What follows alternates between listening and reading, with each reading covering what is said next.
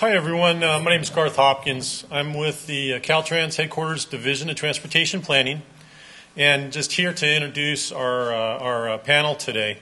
Um, I want to welcome the speakers to our, our first panel session uh, in a series of four discussions that we're going to have uh, relating to emerging, you know, planning for the 21st century and emerging trends. Exciting topics. Um, you know, we've invited uh, thought leaders from several universities and industry to talk about the latest challenges and trends in the field of transportation and visioning uh, during the course of these four sessions. Um, just to let you know, the sessions are going to be webcast, and the viewers all for all over California, and then uh, will also be uh, this will be archived on the Caltrans website for viewing uh, at a later date. Um, so the first session we have here today is titled "Bike and Pedestrian Issues in Transportation Planning." And like I said, this is the first in a series of four um, sessions that we have. And just to give you an update uh, or give you an overview in terms of what the others are, uh, the next one will be on October 19th. The challenge of suburban office landscape and understanding the past revision to the future.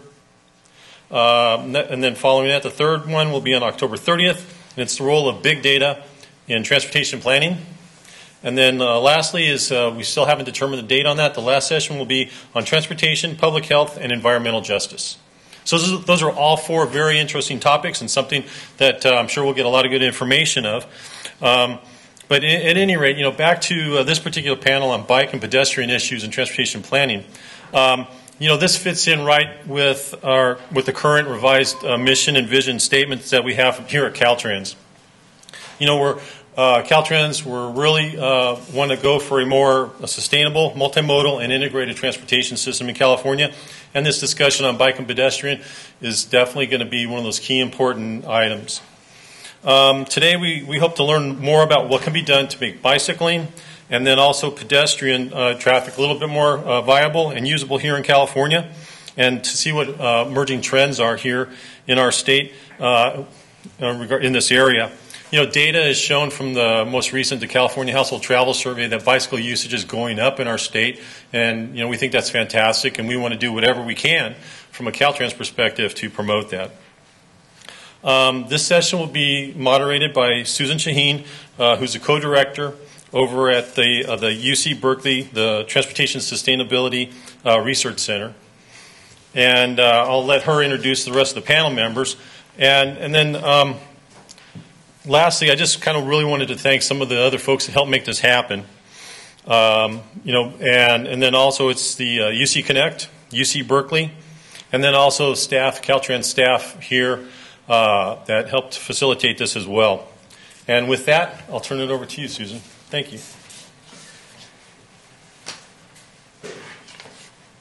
Thanks so much, Garth. Uh, good afternoon, everybody. I'm really delighted to be here to kick off uh, this new Emerging Trends uh, speaker series. I think it's really exciting. So, uh, my name is Susan Shaheen, and I'm a co director of the Transportation Sustainability Research Center at UC Berkeley. And I uh, am really fascinated by the issue of safety and bike and ped issues. And I think the challenge that faces us as we move into the future around sustainability how can we integrate more of these modes into our plans? So, we have a really exciting lineup for today. Uh, we have two speakers. We had initially planned for third, but uh, unfortunately, Sherry Ryan will not be able to join us today. So that means you get a little bit more time with each of our uh, distinguished speakers. Our first speaker is Anastasia Sideris, and uh, she is an associate dean of academic affairs and urban planning professor at UCLA. And she is uh, at the School of Public Affairs as well. Her research focuses on the public environment of the city, its physical representation, aesthetics, social meaning, and impact on the urban resident. So, welcome, Anastasia. And Anastasia will be focusing today on how safety and security considerations affect walking. So, her presentation will address a number of important questions, such as what is the link between perceptions of risk, fear, and walking and biking? How perception of safety may vary because of socio psychological, demographic, and environmental factors. Also, what are the appropriate design and policy interventions that can help people feel safer in transportation settings? And then our second presenter is uh, my colleague from UC Berkeley as well, Offer Grembek. He's co director of the UC Berkeley Safe Transportation Research and Education Center. His current research focuses on injury risk in multimodal environments, road user exposure to risk, and in vehicle injury protection systems. Offer will uh, present on road safety management strategies for pedestrians and bicyclists. His presentation will focus on how professionals are obligated to make walking and cycling as safe as possible as people are being encouraged to walk and bike more for their transportation needs. So I think both of these are going to be wonderful presentations to, to get us started. I just thought I'd, before I bring them up to uh, the podium, talk to you a little bit about how we are thinking we can run this uh, two hour session. So each of the speakers will um, speak for up to approximately 40 minutes. Uh, we decided that we would hold questions, and then what I'd like to do is start out by peppering them with a few questions and then really engage you in the dialogue here at Caltrans and also online. So I think we really want want to talk about how can we integrate cycling and walking into the planning process at Caltrans. So start getting your thinking caps on as we're hearing these wonderful presentations and start queuing up those questions because we really want to hear from you. And with that, I want to turn it over to our first speaker, Anastasia.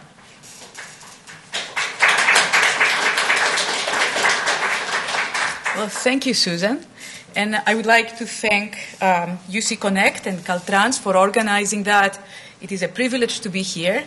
And it's always wonderful to come to Sacramento because I feel it's a city where you don't need to be stuck in bumper to bumper traffic all the time. So I was amazed that we zoomed through the airport in 10 minutes, almost 12 minutes. And uh, I think the taxi driver was kind of laughing at me because I asked at 3 o'clock, uh, is it going to take us one and a half hour to get to the airport, and he looked at me and he said, "Are you coming from LA?" I said, "Yes." So,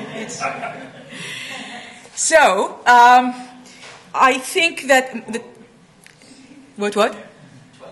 Twelve minutes. Yeah, he said the same thing. You don't need to worry. So fantastic. But I, I have to say that, that, some of these non-motorized modes would be as appropriate in Sacramento as they are, of course, in in uh, Los Angeles and many other. Uh, many other places in the US, and I know that for some of you, I may be uh, preaching to the choir when I say that there are some very important um, benefits when we're talking about alternative transportation modes. Uh, we're talking, of course, about environmental benefits and lower greenhouse emissions because we're talking about non motorized modes. We're talking about economic benefits, lower levels of um, fuel consumption, energy consumption, lower traffic congestion. That's something we do worry about a lot in, uh, in LA, uh, because this translates to, to better productivity. If you're stuck in traffic for two hours to go and two hours to come back, you arrive at the office, you're extremely frustrated, not too much productivity there. And of course, health benefits. And actually, these were now more and more we hear from public health professionals that are telling us that it is important not only to inhale clean air, we knew that all along, but also to walk and to bike and to do physical exercise. It does translate to better outcomes. However, I want to say that what you can see from this table, uh, the mode share of commuters who are walking to work has dropped significantly since 1960. You can see in 1960 they represented 9.9% uh, of the commuters. Uh, by 2010, this has dropped to 2.9%. Um, we're doing a little bit better in terms of bicycling. Uh, you see a little bit of a bump, uh, but not that much better. And if you add these cumulatively, we see that it is still a declining share of commuter, commuters, despite the fact that we know more about these benefits. We're much more aware. Transportation planners are much more aware. At UCLA, we're teaching now for a number of years a very popular class on uh, bicycle planning, and I know that most planning departments around the nation have incorporated some of these alternative modes of uh, transportation in their um, curriculum.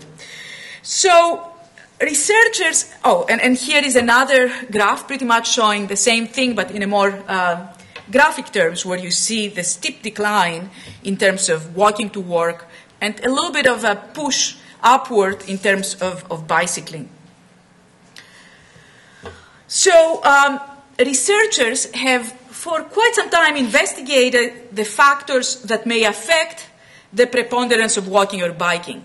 Uh, what may encourage us to walk or bike, what may discourage us. And if, you know, trying to categorize these factors, they talk about individual level capacities, so sociodemographic characteristics. Typically, younger people tend to bike more than more senior people, cultural characteristics and behavioral characteristics, lifestyle preferences, all these are bunched under these individual level capacities, but also society level capacities and characteristics, social norms. Is it prevalent? If you go to uh, Holland, you see all these people on, on bike. If you go to Saudi Arabia, you don't.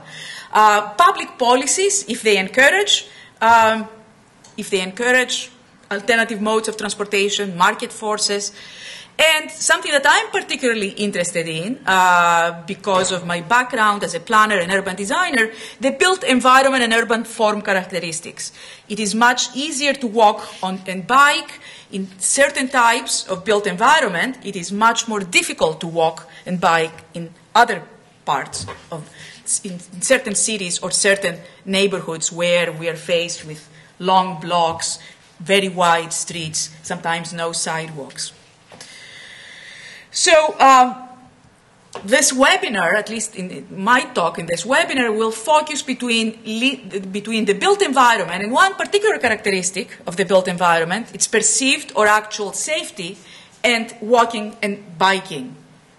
And the questions I want to address are what is the link between perceptions of risk, fear, and walking and biking?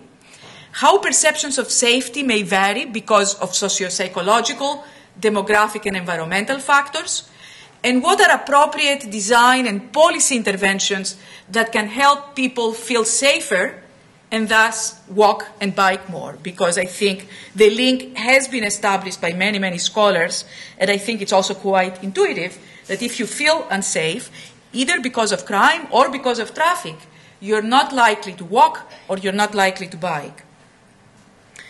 So, fear, criminologists are telling us is an emotional response of dread or anxiety, and there is a causal, a direct relationship between fear and perceived risk. And what I note here is that safety or lack thereof can be either perceived or actual. But the other point I want to make, as transportation planners, this doesn't really matter because if people perceive something as unsafe, they're not going to walk or bike, even if the numbers do not justify sometimes these perceptions. So, what people perceive as important is what will shape subsequent beliefs and behaviors. That's why perceived safety is as important. And I want to note that there are different sorts, I mentioned about the, the link between uh, fear and perceived risk.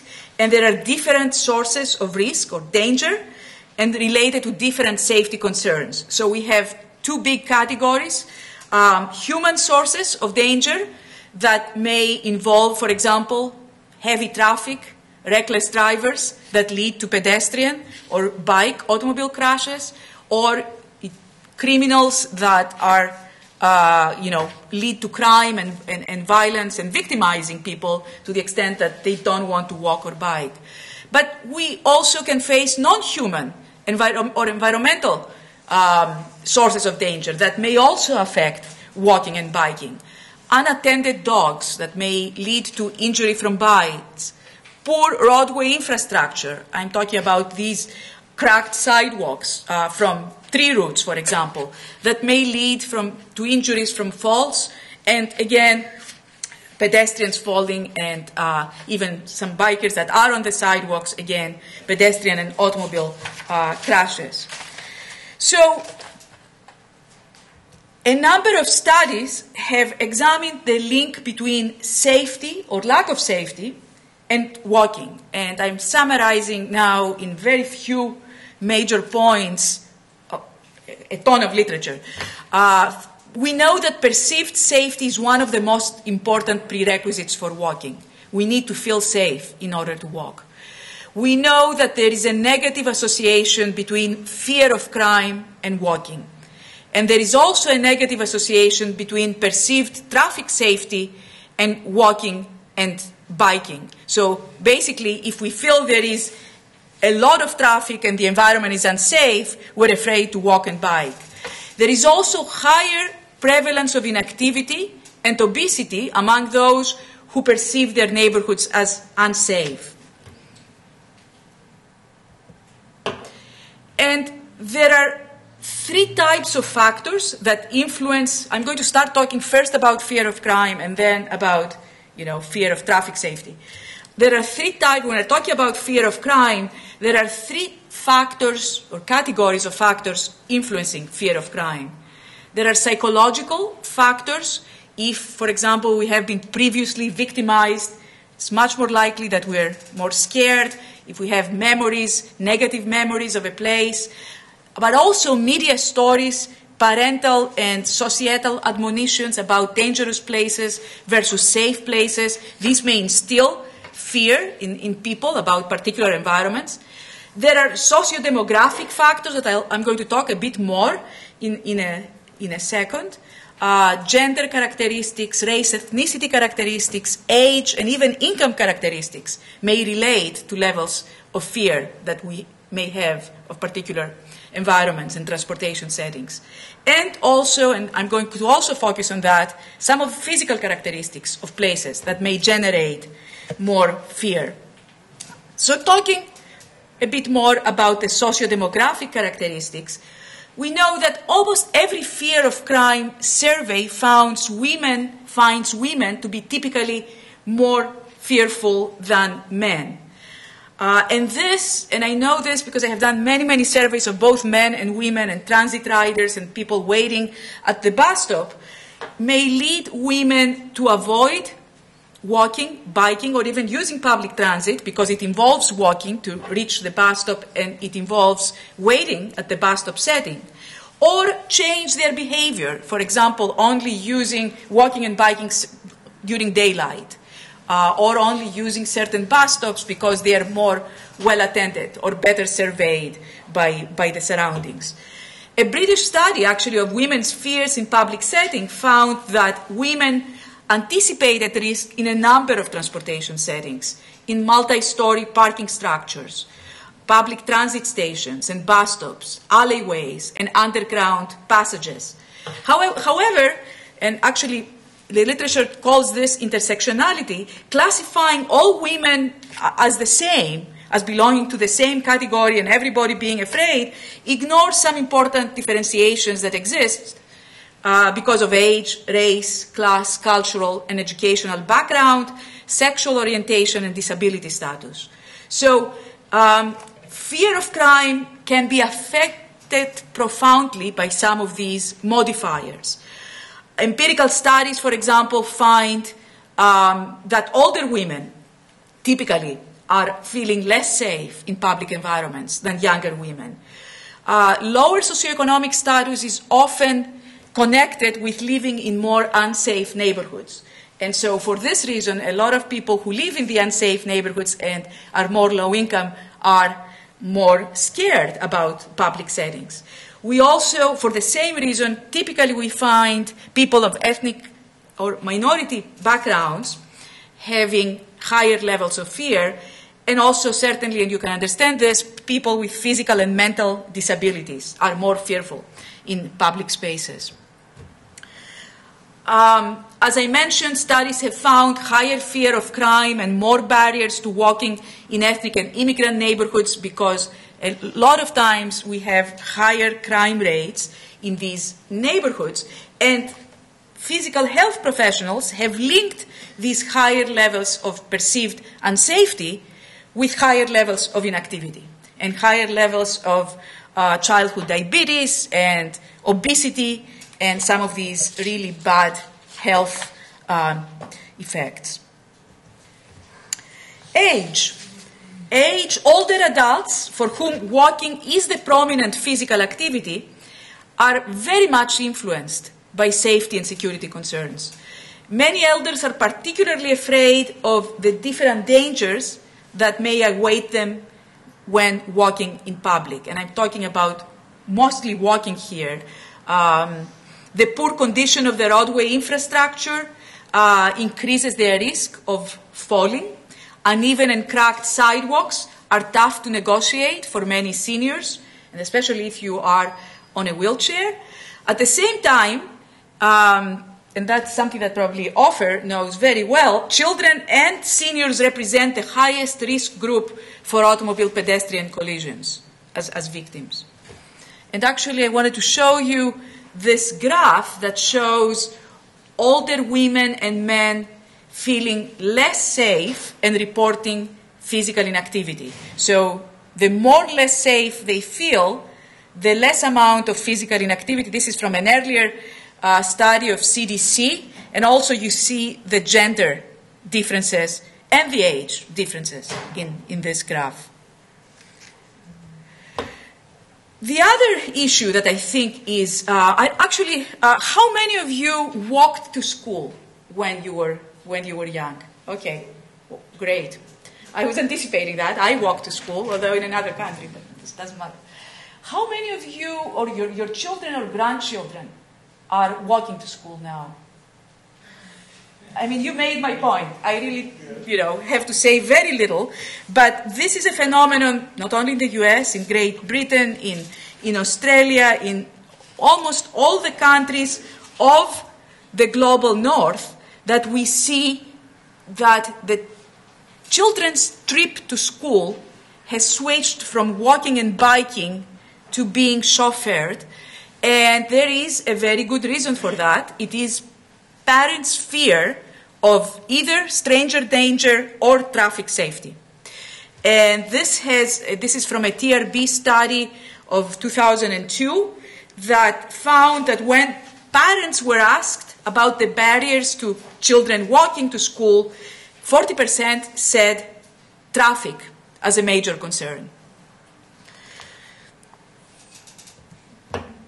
And this is also a graph that shows how children from that same study now, it is um, 13 years old, but I'm willing to bet that very little has changed. Uh, you see, you know, how little bicycling, in particular, and walking uh, is, is the most share of children going to school. Let's talk a little bit about some of the built environment characteristics because they have the power to affect people's perception of risk, certain environmental factors. Researchers have continuously found that neighborhood so called incivilities, and what are the physical incivilities? Disorder, graffiti, litter, unkempt and abandoned buildings, overall poor environmental quality. These types of incivilities raise perceptions of risk and fear. In addition to incivilities, a number of environmental features also result in fear. Desolation, if you are in an environment that nobody, nobody is around you, may cause stress or fear. Darkness, low lighting, dark tunnels, walls, bushes that may conceal you, and if something bad is happening to you, people are not able to tell or, or help. Such features often limit the so called prospect or the ability to see into a place where someone may be hiding. Such features may also provide refuge for someone, for a criminal, to wait for a potential victim. And also, there are two particular types of spaces that may generate fear. Enclosed spaces with limited exit opportunities that you may feel you're trapped, and if something happens, you cannot run or nobody is going to see you. Imagine if you are in an underpass. Imagine if you're in an elevator with someone that you don't know, that looks suspicious and also anonymous and deserted open spaces that nobody, if something is going to happen, God forbid, nobody is going to know it. In fact, criminologists tell us that crime and the built environment are related in a very systematic manner. Different types of crime occur under different environmental conditions. As pickpocketing needs crowds to happen and lots of crowds, congestion. Um, more serious, what the FBI calls type 1 crime, like rape or mugging, usually happen in more desolate spaces. So, um, certain features of place can affect crime, uh, multiple escape routes, crime generating, land uses, uh, physical disorder, broken windows. I'm going to say a few more things as, as we move on about, about this. However, I, if you know all this sounds kind of uh, bleak and daunting, there are there is there are some good news. There is the fact that we can do something about it through planning and design. Admittedly, we cannot fix you know every crime situation, but there are environmental designs that can increase safety and perceived safety and make it easier for someone to get involved in walking and biking. Um, the first types of interventions I call fixing broken windows. Uh, because it is shown that general neglect of the building stock and public environments, graffiti, litter, empty buildings, broken windows, literally and metaphorically, are signs that no one really cares. And if a criminal was to victimize someone, no one was going to mind. So physical interventions that reduce these fear-producing incivilities in public spaces, meaning you know, upkeep the environment, especially near transportation settings, um, through painting, through picking up the trash. Some of these interventions are pretty simple, do not cost that much, but can counteract the broken window effect that is often present and generates fear in, in some neighborhoods. Jane Jacobs, the well known um, urban critic of the 1960s, was the first to talk about eyes on the street. Uh, the idea that if there are more people around an environment, a public space, the chances of some crime occurring is, you know, diminished. So facilitating more eyes on the street through the design orientation of buildings with windows facing the street. I was actually visiting a couple of years ago a new development in, uh, in Stockholm, outside Stockholm, which is very much emphasizing transit and biking and walking. And almost every bus stop had a very good, I mean, the, the, surrounding establishments, the apartment buildings, the shops had a very good look at the bus stop. Uh, lots of eyes on, on the street. This is what is called natural uh, surveillance. So the placement of transit facilities away from desolate areas, this may even mean moving the bus stop a few feet down the block to place it in front of an open front establishment instead of in front of a wall. This makes a lot of difference. I have done studies of crime, bus stop crime in Los Angeles, and surveying a lot of these bus stops, and you find, you see the differences. Light. Um, I think that is something that everybody knows. I left my car at the Burbank airport today. I was sure to leave it under a light. Uh, it is much more, uh, it's psychological, but criminals don't like to get lit with a lot of light, flooded light. So where we can put more light, we are decreasing the possibilities of crime and perceived lack of safety. Eliminating bad neighbors. Uh, what I mean by that? Well, there are certain land uses that tend to associate with crime. Abandoned buildings, liquor stores, city motels, check cashing establishments where there is exchange of cash, pawn shops. So if we have the ability to locate a transportation setting away from these bad neighbors, we're doing a good thing. Creating safe territories, the creation of safe hangout places, such as senior citizen centers or a group of tables and benches uh, in a park, a well attended bus stop, a plaza, can help a group feel safer and have more sense of territoriality and group ownership. And finally, and that's something that planners have started, transportation planners, working a lot in the last decade, protecting access routes to destinations, what they call the first mile, last mile uh, trip.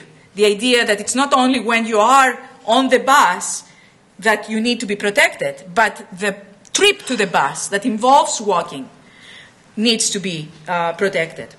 So, so far I have been talking about crime, but I want to also turn a little bit um, to, to look into traffic safety, because this is also a major concern that affects preponderance of walking and biking. Uh, because for pedestrian activity to exist, there needs to be some kind of a symbiotic relationship between motorists and pedestrians. And many post-war neighborhoods, unfortunately, were developed with, not with the pedestrians in mind, but according to modern traffic engineering standards of the 1950s that were preoccupied with enhancing the speed of the automobiles, enhancing automobility. Many suburban residential neighborhoods have curb to curb widths of 38 feet or more. Um, and we have also quite often lack of sidewalks. Can you imagine what it takes to cross these streets, especially if you are uh, over 65? So there are a number of urban form impediments to walking and biking in the way that we have planned and designed our cities, especially our cities of the West Coast, I, I should say. What are these? They're very wide, difficult to cross streets. Lack of medians in many arterials that at least you can cut down the width and give the opportunity for the pedestrian to get some respite. Absent or obstructed sidewalks. I wrote a whole book about sidewalks, and I'm teasing and I'm saying that people may think it's a very pedestrian topic. Uh, but I think that it is an omnipresent part of the urban form that we have completely ignored. And if we really want to have pedestrians, we need to have good sidewalks, not only from walking, but also to reintroduce other social activities. Absence of pedestrian infrastructure, lighting, trees, crosswalks, and segregation of land uses requiring long, long walks.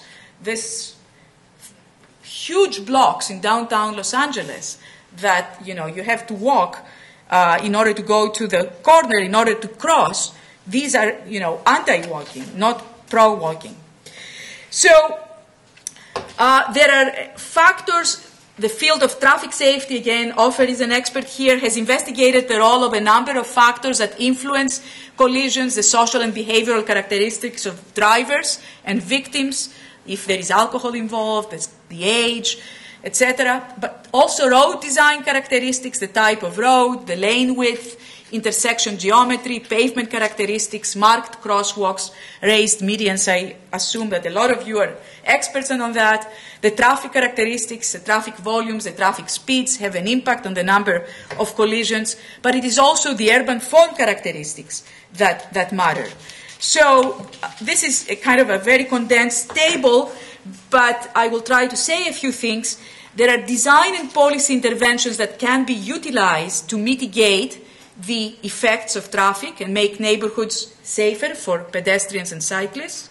At a minimum, and that's something that happens everywhere, all municipalities enforce a traffic code that regulates traffic through signals, roadway signs, crosswalks, pavement markings, etc. These, however, only provide a basic level of protection to pedestrians and cyclists. And we, in order to be effective and increase this mode share of these modes, we need to do much more.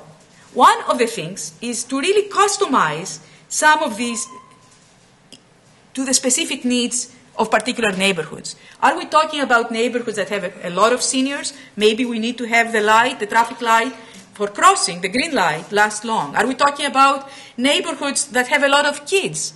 Maybe we need some also, in addition to some, some traffic education courses in the local elementary schools. So um, these are some of the issues, but there are also issues and efforts to reduce vehicular traffic that should focus on the encouragement of alternative modes of transportation. And this can happen through policy incentives and design incentives. Building better sidewalks, building pedestrian paths, building bike lanes. We are in a kind of a, at, at UCLA, that we have a lot of people biking and coming. There is, we are involved in a struggle with the local council person in order to create a bike path that leads to UCLA. You would think that this is something natural, and yet, you know, even to today, there is, there is a lot of um, uh, conflict about that. Of course, there are transportation planners have also talked about some strategies that are politically more difficult to implement, but where they have been implemented in other countries have been successful, namely to make the use of private automobiles more expensive. Uh, again, I talked about Stockholm, where it instigated a kind of a ring around the downtown area that if you cross with your car that ring, uh, automatically there is a fee that is applied, and at the end of the month you get a bill of how much you pay. This has reduced traffic by 30%, automobile traffic. Not very politically viable, I know, um, here, or other congestion pricing. But I still, we saw transportation agencies, even in Southern California, um, experimenting with some of these ideas or charging more to be on carpool lane at specific hours. A variety of innovative design means have been utilized by municipalities in Europe and Canada and in the US to slow down traffic speeds in neighborhoods through traffic calming. I'm sure you're familiar with these. I'm not going to go into detail, but there are a number of deflections, horizontal deflections, vertical deflections, road narrowing, putting up medians, so that the car that enters the neighborhood is in a symbiotic relationship with the pedestrian and the cyclist. Um, in addition to design means, policy regulations like safety zones, 20 mile per hour zones, we're familiar of these around schools. Well, in certain European cities, they have started establishing them as home zones around, around um, residential areas. And these also would make the things more even between pedestrians and cyclists and motorists. And while the aforementioned me- measures are primarily targeting the behavior of drivers, another set of interventions can target the behavior of pedestrians. Uh, and these involve education, information about traffic dangers, uh, helmet programs, tra- training programs for children, etc. So, how am I doing for time? I'm about to conclude. Okay, so in conclusion, I would say that the design of the built environment should not impede the propensity for walking and biking. The link between built environment characteristics and safety from crime or traffic danger has been clearly established. We know it's true. Therefore, design and policy interventions aiming to enhance neighborhood safety are the necessary first steps for the encouragement of walking and cycling. So, here again, interventions should be tailored to the particular subgroups and the characteristics of the neighborhood, namely the physical and social characteristics. It is also important to evaluate if proposed interventions are reaching the populations who seem to be more in danger of physical inactivity and who display growing obesity problems and higher levels of fear the children, the elderly, women, inner city residents, and low income people. I think I want to close with a kind of an optimist note. I want to say that I come from, well, I live, I don't come. I live in a city that is characterized the city of the automobile, but even in Los Angeles, we have seen a much, much more emphasis now in creating bike paths, in um, making it easier for pedestrians and bicyclists. And so I'm, I'm quite optimistic. Thank you very much.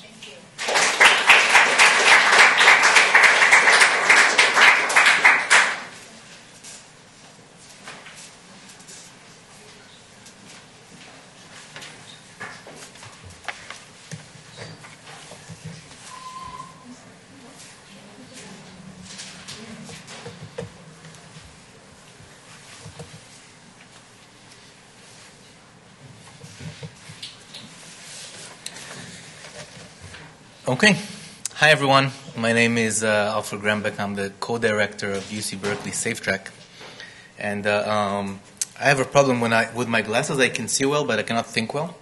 But then without my glasses, I can think well, but I cannot see well. So I'm probably going to take them on and off. So uh, whatever is ideal for that specific situation. Uh, um, so I might not be able to see all of your faces. Uh, my talk today is about road safety management for pedestrians and bicycles. And I'll start my talk uh, by doing a, brief review. Uh, actually, it's not that brief, but doing a review of uh, uh traffic safety patterns and trends and uh, uh, describing the scope of the problem and then identifying three reasons of why it is important to conduct road safety management strategies and road safety management in general for pedestrians and bicyclists. So, uh, um, what is the, the traffic safety problem in California? So, if we look at the past 10 years, there have been over 34,000 traffic fatalities across the state if we look at the, at the pattern, we can see that uh, um, around 2004 to 2006, the number of fatalities peaked, and then it was followed by a few years of significant reduction. That's probably associated more with an economic recession. So, if you want to understand what's the how we're doing currently, what's the current state, or what's the current scope of the traffic safety problem, we need to look at the past few years and uh, uh, what I'm doing here, I'm looking at how things have changed since the end of the recession, and I'm using 2010 to present that.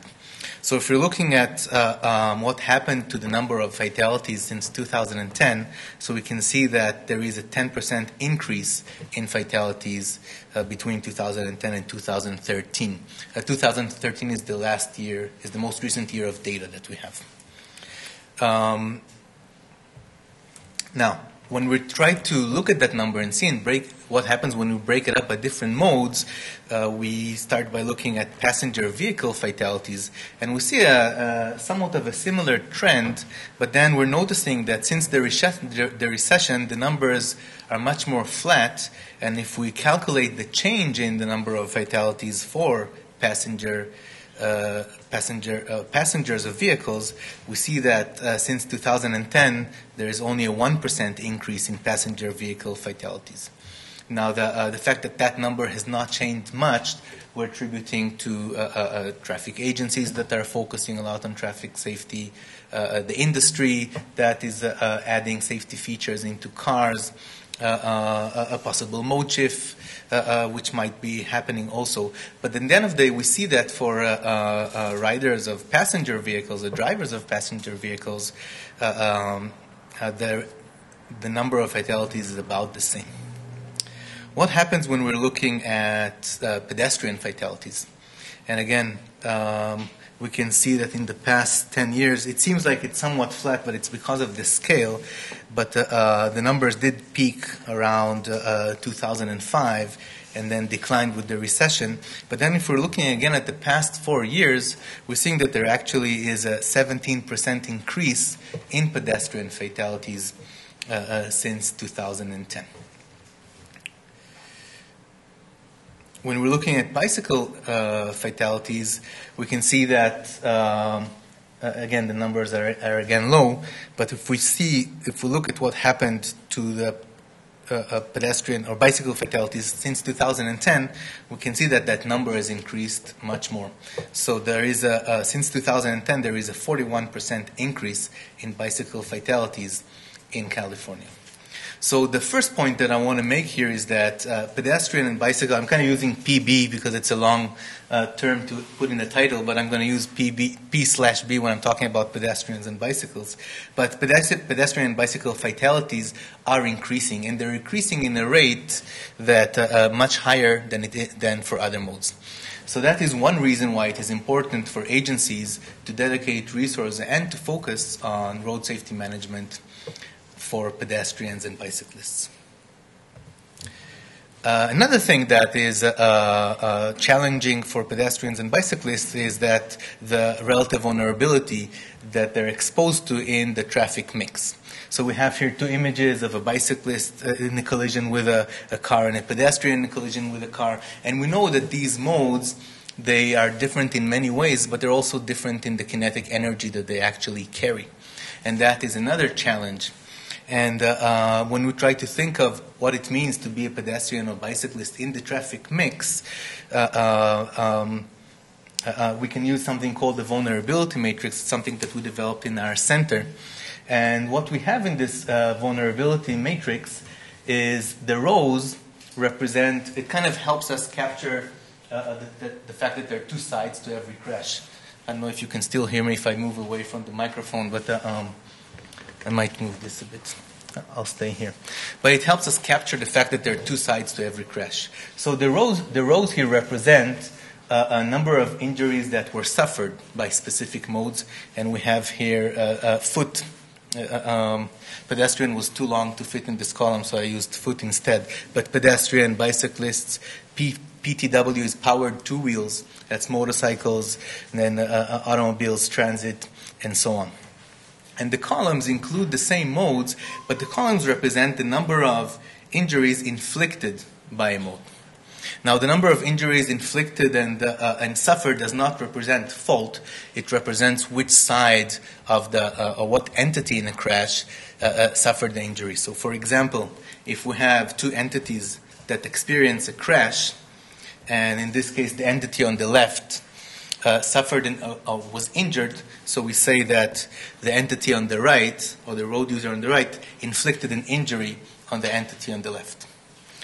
If both sides are injured, then it's, uh, uh, it counts for two, for, two injuries, and then we can say that the, that the entity on the right inflicted an injury on the entity on the left, and the other way around.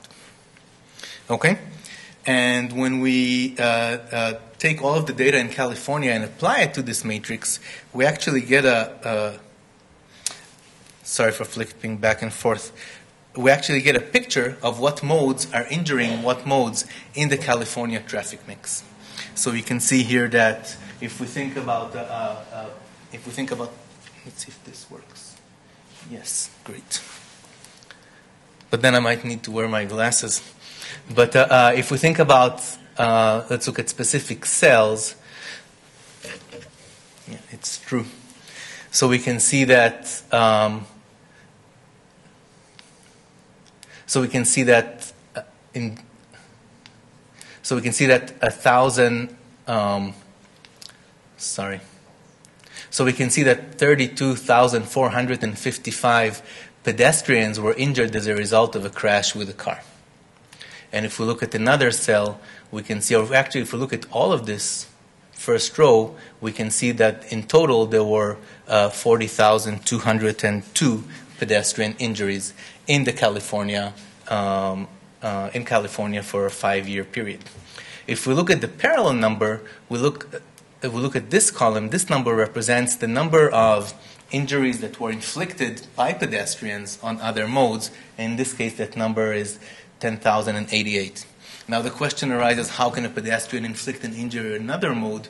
And the way that can happen is if a result of a crash, a car can lose control, a car can uh, hit a light pole. So it's, it is also possible that the result of a crash with a pedestrian, uh, uh, a road uh, a driver or other road user occupant might experience an injury.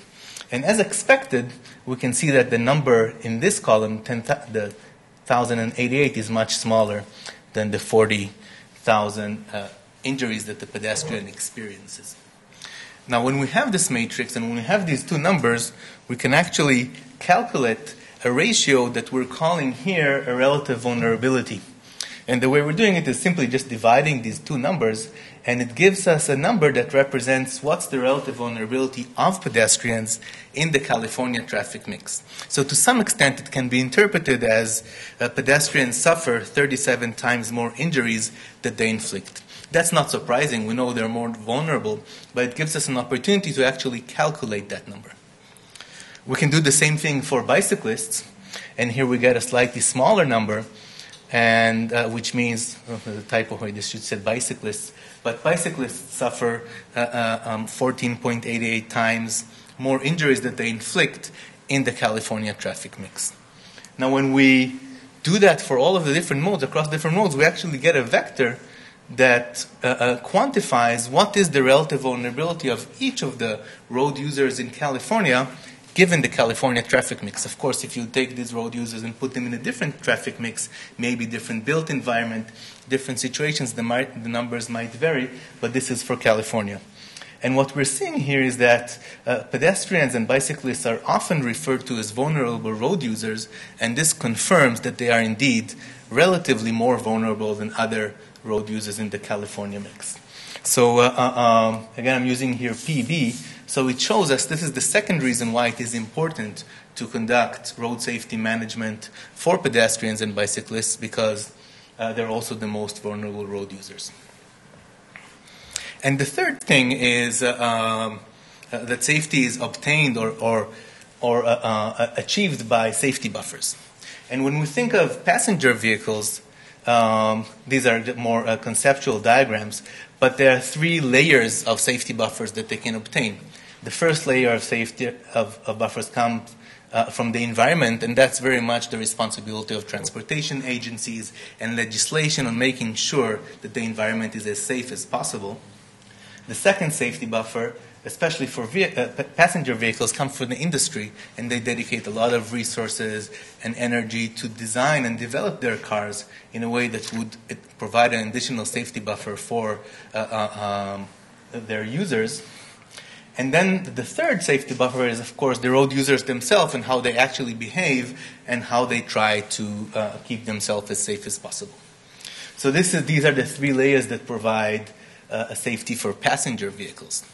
But when we're looking at uh, pedestrians and bikes, we still have uh, uh, transport agency, transportation agencies that uh, work diligently to try and make the environment as safe as possible for pedestrians. But then when we look at the industry, uh, maybe this should be smaller, but uh, there is very limited uh, buffer that's provided by the industry for pedestrians and bicyclists. There are very few, there are some examples of now also car makers are actually incorporating pedestrian airbags and then taking into account how to design their vehicles in a way that would reduce the likelihood of, uh, of an injury given a crash with a pedestrian or a bicyclist. But, uh, uh, uh, but in general, there's no industry that also provides additional safety buffers for pedestrians and bicyclists. For pedestrians, it's probably difficult to think about how can the industry improve their health, but for bicyclists, maybe there are ways. Maybe the industry just has not uh, uh, picked up on that, or maybe it's not pushed enough. Uh, um, the other day, I went into a, um, to tune up my bike, and I asked the person at the bike store, "So, what is the safest bike that you have?" And he was, and he was like, um, I don't know. I've never been asked that question. And he says, oh, maybe the upright ones are a little bit safer. But uh, so him, so what is the difference between all the bikes that you have here? And he said, oh, performance, and this, uh, uh, uh and this frame is made from some uh, carbon fiber that's especially strong and, um, and will never break, and is very light, and it was actually tuned perfectly in a wind tunnel. And if you would go into a Honda dealership and you would ask them what's your safest car, they'll be able to tell you in a second. So uh, uh, it might also be that the bicycle industry maybe has not picked up on the need to actually uh, think of how they can actually allocate resources to maybe improve the safety of their riders also. But uh, uh with respect to what I'm presenting here, there is a very limited uh, safety buffer provided by the industry for pedestrians and bicyclists. And then, of course, there's the road users, there are the road users themselves who try to make sure that they're safe. So when we look at it this way, uh, uh, um, this is the third reason why it is important for agencies to conduct uh, uh or to dedicate resources and efforts for road safety management uh, for pedestrians. It might be possible to, uh, or at least to the same extent as they do for other road users. So uh, now that I've uh, presented what uh, what are three reasons, as um, I'm, I'm, probably preaching to the choir, as Anastasia said, but but uh, uh, it's important to also establish what are specific things that make road safety management important. And um, and moving on with my presentation, I want to describe here some principles of road safety management that we've identified as a result of research and work that we've done uh, with Caltrans and other agencies. And uh, uh, road safety management is effectively just a set of goals and activities to improve safety. And what we've uh, um, learned is that these eight principles or components that we've identified here work best not if they're uh, uh, not as individuals but more in concert as a set of activities that actually complement each other And in the rest of my talk, I'll show a little bit how they uh, uh, support each other, how they feed on information from each other, and how all together they uh, uh, uh, can help provide a safer environment. so I'll briefly just describe what each of these mean, and then I'll focus a little bit more on three of them. Uh, the first uh, principle, the first component is infrastructure data. And as Anastasia presented, there are a lot of uh, um, built environment attributes and features that matter for safety. And as part of a road safety management plan or strategies, that data needs to be collected. And that data needs to be documented and saved in a database that would then allow to conduct analysis and to conduct uh, um, uh, and to identify what is the effectiveness of different design. The second component is volume data. And going back to my previous slides about trends, there is one, there's a big part that those trends were limited because uh, it did not control for exposure. And when I say exposure, that means the level of activity. So if we're seeing that the number of bicyclist fatalities is going up, it might also be associated with higher level of uh, bicycle activity. If we see that uh, um, automobile safety might not be changing much, it might be associated with a lower level of, uh, of uh, driving mode share.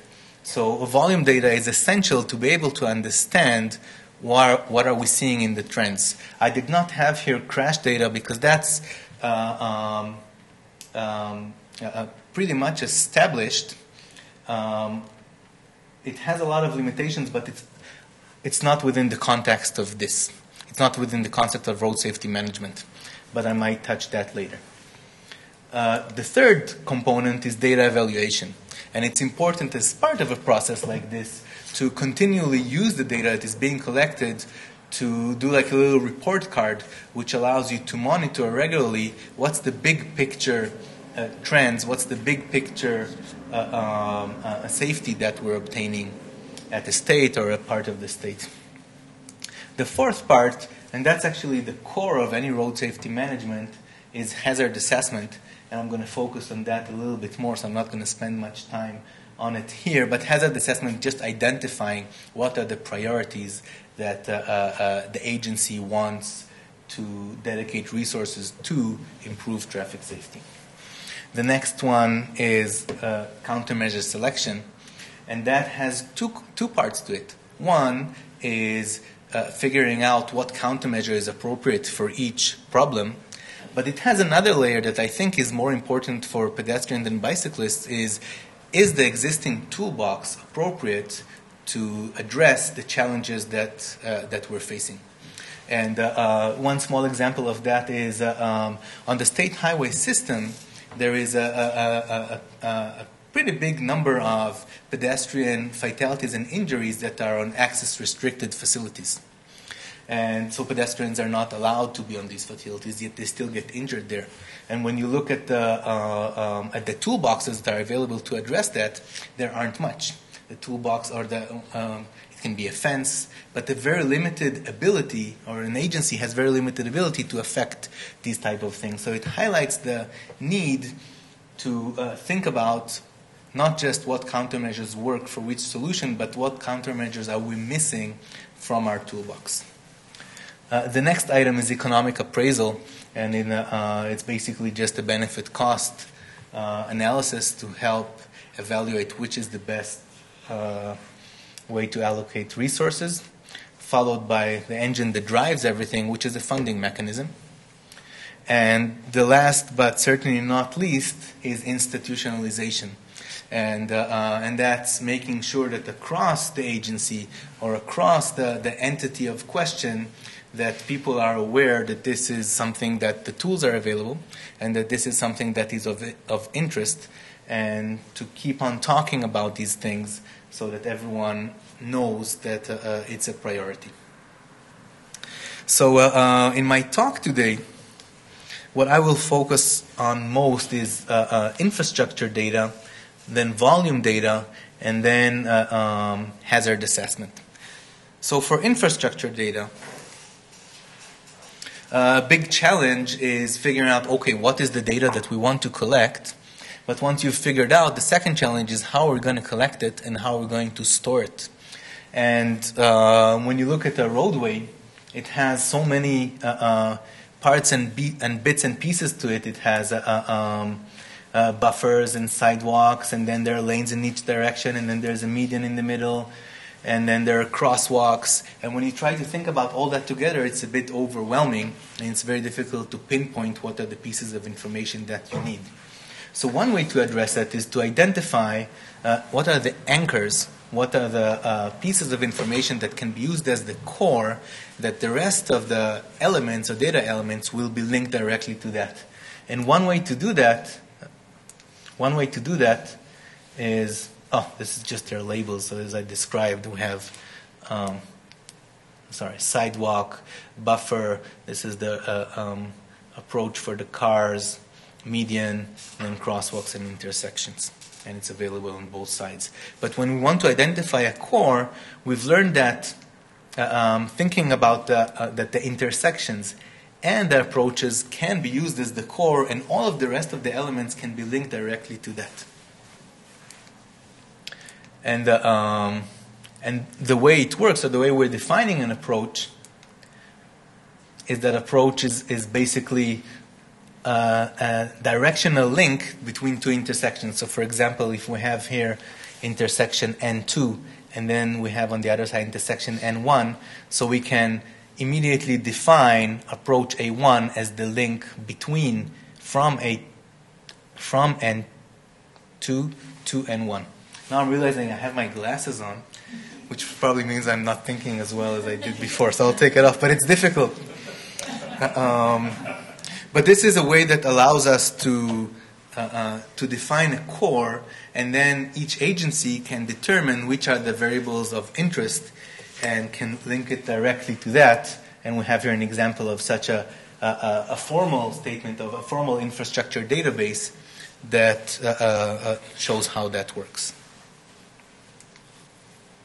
Now, to collect that data is challenging by itself and we've, uh, uh, I'm presenting here a, a, study that we did uh, for Caltrans actually that came to the conclusion that a lot of this data can be collected pretty simply from your office using Google Earth or Google Maps. And we developed a protocol that allows you to measure uh, uh, specific dimensions in the roadway and count uh, specific, so it can be street lights or width of a crosswalk and so on. And uh, uh, we did it very simply here by just ha- uh, having students collect the data. But uh, as technology, with emerging technology, you might also be able to collect that uh, uh, without people. And Google and other companies are probably able to provide such services pretty soon. Volume data. Um, so going back to crashes and safety. So what we have here, we have here uh, a, a, map that shows uh, spots with uh, pedestrian crashes. And we have here the size of the circle is associated with the number of crashes. So the largest circles are five or six pedestrian crashes, the smaller ones are smaller numbers. And if we take a look at this map that has just the absolute number of crashes, as I presented in the trends earlier, it tells us a story that, oh, the most interesting point is, is in Alameda, or in the city of Alameda, and that's where we need to look at potential, uh, uh, in this case, pedestrian safety concerns. But, um, but if we actually have pedestrian exposure at these locations, and pedestrian exposure is just like volumes and counts, it's the actual level of pedestrian activity at these locations, we get a slightly different story and we can see that once we calculate the crash, the crash risk, which is crash divided by exposure, exposure or counts is the same thing, we get we suddenly get a different picture. So Alameda is no longer the highest priority, and there are other two locations. So uh, when we're conducting traffic safety studies and evaluation, it is essential to have pedestrian exposure because it can guide the discussion this way or another. And uh, a big challenge is, of course, uh, uh, collecting this data Uh, it's typically done uh, manually, but now more and more technologies are emerging. I think Caltrans is using a technology called Miovision, and this is a summary of an NCHRP report that evaluated different technologies for pedestrian and bicycle counts. An important thing to mention here is that when we think about the institutionalization, it makes sense uh, for an agency to prioritize uh, pedestrian bicycle counts whenever vehicle counts are conducted because the uh, uh, data collection uh, individuals might already be out there at the site. There might already be technologies that are doing it, and it's really important to try and institutionalize that when you're out there, you're also coll- you're collecting data for all modes and not just for a specific mode. Uh, uh, if you're not familiar, this is a, uh, there's an NCHR, NCHRP report 797 that described in very, uh, we were involved in this study too, that describes in detail what are the advantages and disadvantages of different uh, pedestrian and bicycle counting technologies. Um, so once we have that data, we can actually conduct more meaningf- meaningful analyses about what are the locations of interest. In this case, this is a study that was done over a corridor. Now, I do want to mention that uh, conducting counts at every single location is a bit too much, and that would not be possible within a reasonable amount of time. So the way we address that is we develop models that are based on land use attributes that uh, allow us to uh, uh, estimate with some confidence interval what is the level of activity at the specific site. So even if we cannot cover all of the locations, we can still develop a model that would tell us what is the expected pedestrian or bicycle activity at different locations. Uh, and uh, hazard assessment. So, uh, um, uh, um, so when we talk about hazard assessment, there are two main approaches. On the left here, we have the hotspot approach, which I'm sure many of you are familiar, and that the hotspot approach is just identifying locations that have higher than expected pedestrian crashes. The parallel approach that is up and coming, and more and more agencies are looking into that, is called the systemic approach. And according to the systemic appro- approach, you look for specific facilities or specific designs that you want to improve in several places across your network. Uh, um, uh, they have their relative advantages and disadvantages, but from a systemic approach perspective, the benefits are that it, it doesn't uh, uh, replace the hotspot approach, it complements it because it allows you to reach the place, places that's more difficult uh, to identify using the spot approach. It requires less data, it has a widespread effect, and it can uh, uh, uh, prevent specific crash types. The drawback is that justifying a systemic approach or kind of blanket improvements across multiple places can be difficult. Uh, uh, so this is just a, a, simple example of the of the hotspot approach. So we have here nine crashes uh, um, along a, a, a, stretch of a of a road network, and and if we de- we, de- we define a specific window length, then we can move a sliding window through the network and look for sites that meet our criteria. In this case, the criteria is you need to have two crashes or more. Uh, uh, sometimes it would find two, sometimes it would find three, but it would uh, uh, cover your network and look for your hotspots. And then those are spots that you can investigate. The systemic approach, and I'm kind of uh, uh, um, skipping here a bit, the systemic approach um, does not look for specific locations, it actually looks for specific facilities. And the way that uh, we're doing it here is again, we're creating a matrix where the rows represent different types of crashes. So we have here, it's probably difficult for you to read, but we have here right turning vehicle uh, crashes or unsafe speed. So it has a variety of crash types. And the, the columns represent different location types. So it can be an unsignalized high speed location or a signalized low speed location and so on. And when we process such a matrix, what we actually get is a picture or a map of what type of crashes are happening on what type of facilities. And that allows us to then identify something that we're calling a systemic hotspot. So it doesn't direct us to a specific location that we need to investigate. It directs us to a specific cell or a specific combination of crashes that is of interest. In this case, it identifies pedestrian right of way in crosswalk crashes on signalized high speed narrow intersections.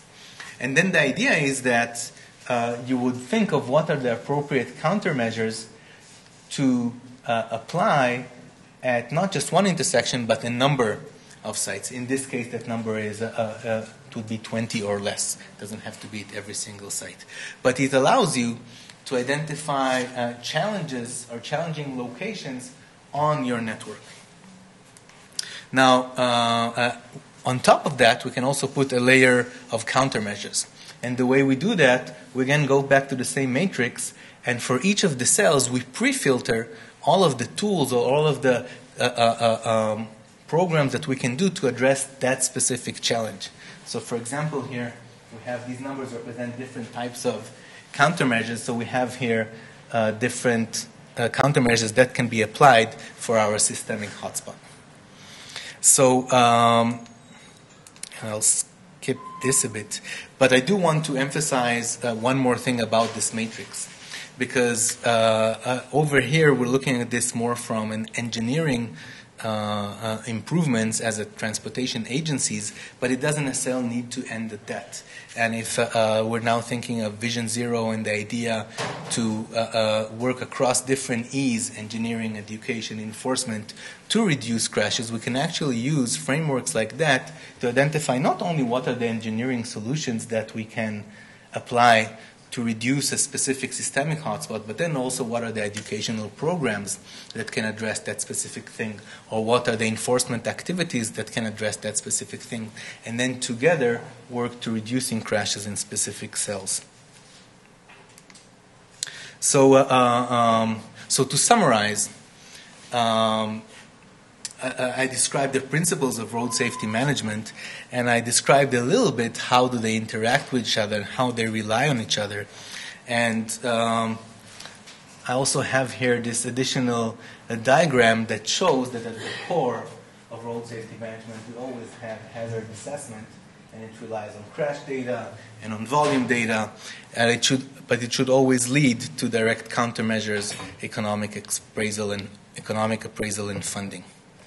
Uh, um, so to summarize, we've, I, I, described three things that uh, show us why we need to prioritize road safety management for pedestrians and bicyclists, and then something about potential road safety management strategies. Thank you.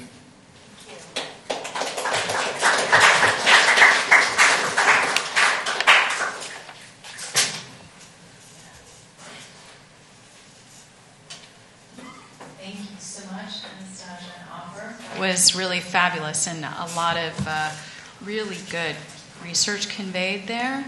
Uh, you know, I particularly liked um, Anastasia your talk where you really went through a whole litany of design interventions, which I think were really helpful. And then Offer, I found uh, your methodological discussion about how to look at relative vulnerability and what kind of data sources we could be looking at to help in assessment of hotspots and other types of locations also really helpful. But I will say that at the beginning of your talk, I found some of the data disturbing. So I think, Anastasia, you had a seven percentage point decline in walking over the, the last 50 years. Walking to work. Walking to work, okay. But that's, that's notable, right? And then Offer had similar uh, statistics. You know, 17% uh, increase in pedestrian fatalities since 2010, 41% increase in bike fatalities in California. So I was really curious when you were giving all this, all this data, you know, how, how does the US, how does California compare to other nations? I know you had made a couple of observations about Stockholm, but I was, I was just curious, you know, what, where do we stand relative to other nations? We have a lot of ground to cover, I would say. Uh, partly it is because a lot of our cities were developed, especially in the West Coast, around the automobile and much more horizontal expansion, that it is much more difficult to connect the different points to one another, and so you have to get on the automobile. Uh, so partly it is urban form related, partly it is uh, cultural, and I think, uh, as I mentioned, we've seen quite a lot of change. I wish we had numbers to show. I mean, the numbers I showed were work, uh, walking to work. Mm-hmm. I think we now understand much more how important it is walking for health, and I'm willing to.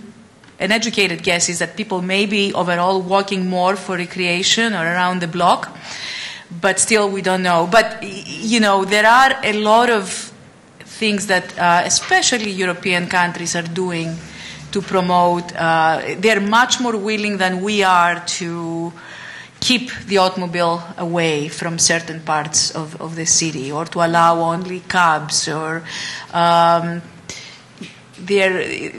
walking and biking is so much part of the culture. I mean, to give you an idea, I have been doing some work on high speed rail uh, for a number of years now in California and what we can learn from uh, other countries. And if you go to a lot of uh, European countries, in Spain, in Germany, in France, what you you're coming close to the high speed rail station and you have so much bike space. I mean, you see all these bikes that are parked there.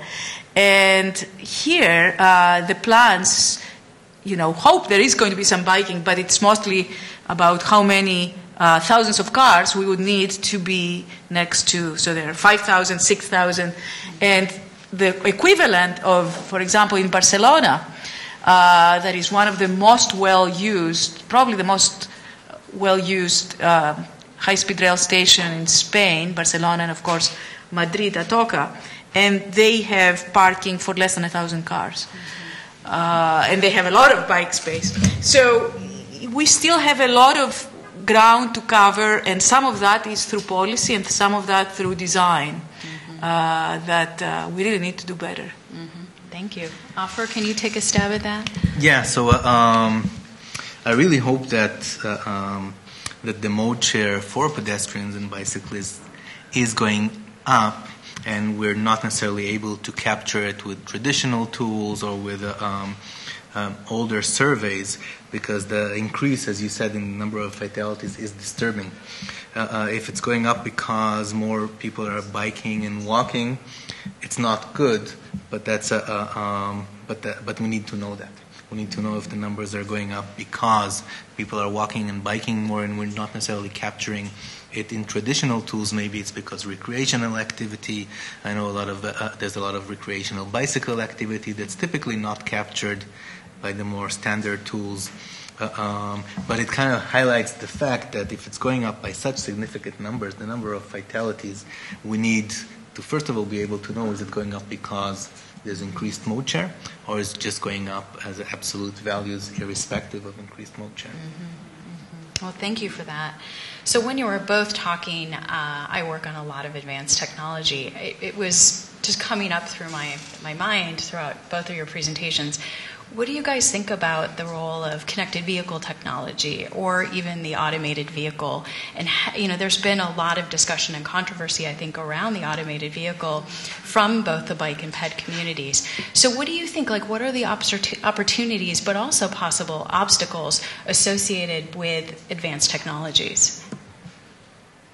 And you define advanced technologies as the driverless cars? Well, it could also it could, it could also yeah or? could could be IT you yeah. know based things. But I thought I'd also you know throw in that there has been a lot of discussion and debate I've seen in social media around the issue of like just even the automated vehicle and what this would mean for bike and pedestrians. You know, would it mean the end of us walking around because we're freaked out that we're going to get run over by a robo car? Yeah. In my ideal world technology and these you know advanced technologies work to enhance connectivity of different modes because I think that's another issue that we have to face here in the US that our different modes are not well connected with one another. Mm-hmm. So definitely there are certain journals journeys that you need to get on the car, uh, but there are others that you can use other modes that have to be connected. And if you can use IT to give you more information about how to seamlessly connect, then I think that would be a great uh, use. And of course, you know the bike share yeah. and programs and how again, if you where you can find your next bike and what if you can see this in your app. um, you know, that, that's something that would be very useful. Yeah. And I think, too, these multimodal apps can also help us navigate safe and unsafe territories as well. And I wonder if the, that, that's getting built in more and more into things you know, as we're as we're creating these multimodal apps, like these are unsafe areas, that type of thing. I was using Google Maps recently um, in another country, and it told me to avoid an area mm, because of traffic safety uh, problems Tra- or traffic or safety. crime, or? And I, but I also inquired, and it appeared to be a high crime area as well. This was very controversial. I read something about that, and some of the neighborhoods were up in arms. Yeah. If they're going to be further stigmatized, if you know, that's Yeah. something to be very That careful information about. is Yeah, shared. I had not ever experienced that before, but I, I Yeah. did experience it. It was actually in the Netherlands when I was using Google Maps to just plot my route from a transit Yeah. station to, to walk, and it basically said you should be very careful. So, Offer, what are your thoughts? Um, so the, the short answer is we don't know. But then, uh, uh, with respect to uh, um, vehicle automation, uh, in my mind, it's uh, probably easier to teach uh, a computer or high level of technology to watch out for all road users than it is to teach drivers. So, uh, um, so there is a pretty big potential there for uh, smart vehicles to uh, look for all road users um, because they have the capacity. Uh, now, will the execution uh, fulfill that? I don't really know. But I think that, that there is the, there is a potential here for safety improvements for pedestrians and bicyclists when uh, a higher level of vehicle technologies are added. I can speak for, and this is more anecdotal, but uh, um, uh, uh, uh, I own a car. Um, and in our car, we have a right hand side uh, mirror, uh, sorry, a camera. So whenever you turn right, there's a little uh, camera that helps you look at what's happening at the right side of the car. And initially, I did not I did not think of that as something that I need, but in practice, I'm learning that it actually is extremely helpful. Uh, it's extremely helpful if I need to look for bicyclists when I'm turning right. It's extremely helpful if I need to look for uh, pedestrians, and in general, it covers a lot of uh, um, blind spots that I would typically have. So it's a uh, so even if you don't go all the way into driverless cars, adding technology can help us as uh, uh, as road users uh, to be safer. Yeah, yeah. So I just wanted to to um, weave this into the conversation because you know I know Caltrans is really involved, you know, not just in the planning process but also looking forward into the research process. You know, how could advanced technologies be used to go beyond some of the recommendations that that you guys provided? So. Anastasia, we actually had a question for you from the online community. Oh. So I'd like to, to, to posit that. Uh, could you address recent articles that have been in the LA Times regarding the pros and cons of road diets? I'm not familiar. When if this happened in the summer, it was actually in another part You were, of you the were world, so traveling. haven't read, You were uh, doing your that. European research? Yeah. Okay. Um, but I don't know what the articles were talking about. No. Anybody who read these articles and what they're saying that could comment? No one? Yes. Juan. What did they say? Juan, do you, do you want to grab, grab a mic just so you get recorded for the online folks? Thank you. Yes, we want you to, we want to, them to be able to hear you. Yeah, basically, these are the efforts of the city of LA to calm some of the streets uh, that had been affected uh, by safety issues Yes. towards pedestrians and bicycles. So, for example, removing a couple of lanes, including yes, a median. yes. yes. Oh, that's planned so 2035. Yes, Yeah. I know exactly what you're talking about.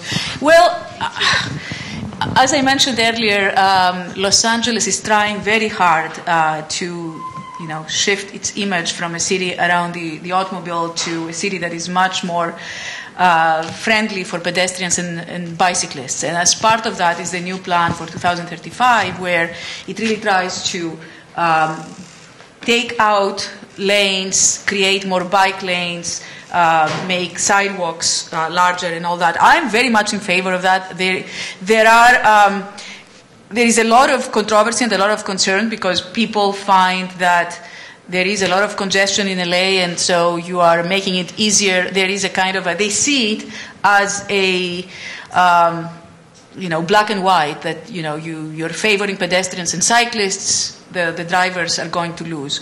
Uh, I don't think that this is necessarily the case for the simple reason that we have so much automobile space in, in Los Angeles. I mean, so much of the city is you know, pavement. So uh, doing a kind of a, if, if you were to go and take the, the, the lanes, of course, it's going to create some uh, congestion. But if we really do a more comprehensive work and kind of see how this traffic can be diverted to where and how do we use possibly one or other another arterial because there are a lot of arterials around Los Angeles. I'm not advocating of bringing traffic inside uh, the neighborhoods, but there are all these east-west arterials that some of them are better than others in terms of traffic, and some of them definitely can accommodate more traffic. Uh, so there are, I think, if, if we were just simply going to put a plan together that takes out lanes and um, you know widens sidewalks and uh, puts bike, bike lanes and do nothing else, this might be problematic in terms of traffic. But if we try to see it in a more comprehensive way of how do we use the extra uh, road space that we have for the automobiles to accommodate and divert and all that, it takes more work, but I think it, it can happen. But it's very controversial right now in, in LA. A lot of people fighting it, a lot of people in favor. Wonderful. So we have um, another clarifying question for you, Anastasia, but I thought maybe we take a moment to turn it back to our live audience right here at Caltrans to see if anybody had a question for Offer or Anastasia. Okay, it looks like we have a couple. Great. Okay, thank you. Um, my question is uh, with regard to the chart that Anastasia you put up of uh, a variety of uh, policy proposals or actions that could be taken. and I noticed, chart, yeah, yeah, yeah. and uh, Offer you can. I perhaps you have experience from SafeTREC as well. But uh, I wondered if you had any experience or knew from the literature the impact of driver safety programs. Uh, for those of us who all raised our hands about walking to school, I think we all went to mm-hmm. California High School where you did have indeed driver training. Yes.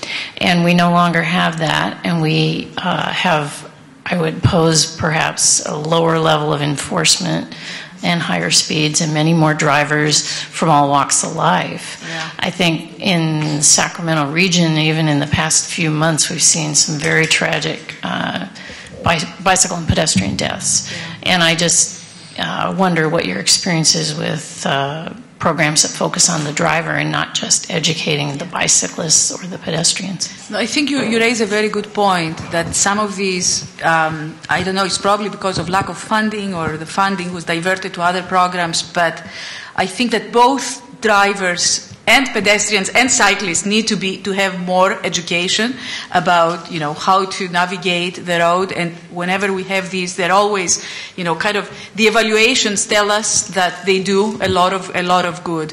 Um, but I want to also emphasize that there are studies that also show that certain neighborhoods are even more vulnerable than others. And so for example um, in LA it, my own study looking into 2007, where the pedestrian automobile crashes were occurring, were a lot of Latino neighborhoods that were more vulnerable. And even, um, and, and these were neighborhoods of very recent immigrants and their kids that uh, I think, you know, even training and education.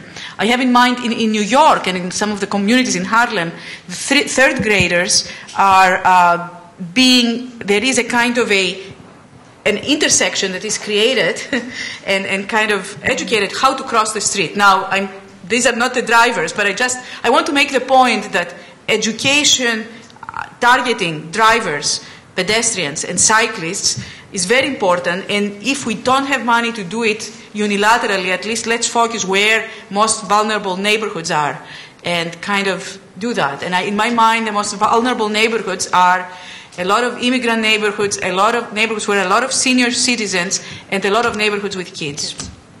So let's focus the attention there. Yeah, and related to that, and, and then I'll, I'll, let you definitely chime in. Just this, this uh, was one of the questions that came from the online community. Was you know, could we emphasize more in our, I guess, educational campaigns the greater risks of driving, and would that help to encourage active transportation? You know that there's Yes. risks associated with driving. So could you, you address that, Anastasia? to, to, to, through education to praise the you know the alternative modes no absolutely but also i also want to, to say that the trends are also encouraging my colleagues at ucla um, brian taylor and evie blumenberg they really studied the patterns of millennials Yeah. and they find that they're not as anxious to be driving uh, and they're much more open to utilizing alternative modes. And uh, I think that you know, starting at an, at an early age through education is is important. Know. Yeah. Would you would you like to add anything to that Offer? Because you were talking about you know the vulnerability of people to um, to the automobile itself. Yeah, so maybe before that, a, a, a comment about uh, training. So, uh, uh, uh, training is effective. Uh, it's challenging because it is very difficult to quantify the actual effectiveness of that. But it has been shown uh, that it has a lot of benefits. Uh, a challenge that I think uh, that we've noticed with respect to training is how to develop the appropriate content to actually have an impact because uh, uh, because a lot of people feel that educational and training programs have a lot of value, sometimes they're not thought through to the level of detail that you would want to uh, to understand exactly how should it be uh, uh, conducted so that the benefits would be maximized. And I think that uh, some of the things we're probably still working on with respect to conducting research of how to get people uh, more aware of these things to help people how to make the right decisions. And uh, this is a, a, a, um, kind of a side comment also about children. Uh, there is recent research that's showing that children under the age, I think it's uh, uh, seven, don't have the cognitive ability to understand uh, what it means to cross a road. So they're programmed to teach children to cross a road at different ages, ages that are less than seven. But uh, it turns out that now that we're conducting more and more cognitive research of children, that they actually cannot fully understand what are the risks and what are the complexities of crossing a road. It's seeing that the car is moving in your direction, con- uh, making the eye contact, and then actually understanding the risk that is that can happen as a result of that. So that uh, speaks back to the need of, uh, of uh, educational and training programs that uh, uh, are designed uh, in a way that would actually work. And that probably also speaks a bit Yeah. uh, um, Yeah. to uh, info about uh, the greater risks of driving. Can it help encourage active transportation? It's all about how you develop a training program in a way that you can have these benefits. Wonderful. So Madonna, I think there were a few other hands. Okay, there you are. So I'm Matt Freeman. I work here in traffic operations, and I was previously a school board member. And so I'm looking at the home to work trip to also being a home to school trip. And uh, two issues kind of pop up. One is that of designing of emerging in new neighborhoods that encourage through traffic by bikes and peds versus the nice loop roads and cul-de-sacs that help minimize traffic racing that people want in their suburban neighborhoods but discourage straight line travel because there's no connectivity. And um, creating an environment where the kids could walk or bike to school directly. The next part deals with perception on the part of electeds as well as parents, where there's a general fear of even encouraging um, biking or walking because the school districts don't want to give the impression of sanctioning a particular route. They feel fearful of liability. Liability. And so, you know, you have many, many layers uh, have developed going. If you look at the chart in your first part of your presentation, uh, Polly Klaas's kidnapping made every parent afraid of stranger abduction.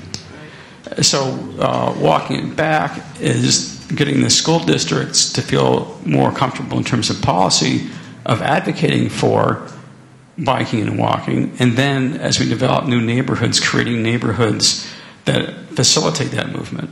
Yeah. No, these are all very valid comments. The, the irony with the Polly Klaas um, case is that uh, it, it, it was a horrible case, uh, but it made everyone so fearful. But in terms of the actual numbers of you know stranger danger. They have really gone.